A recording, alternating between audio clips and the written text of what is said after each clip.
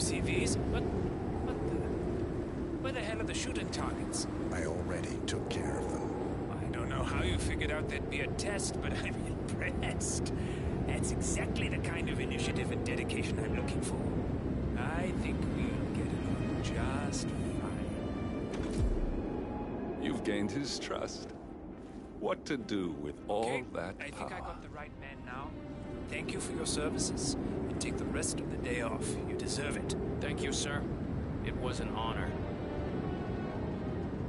Thank you, sir. You impressed?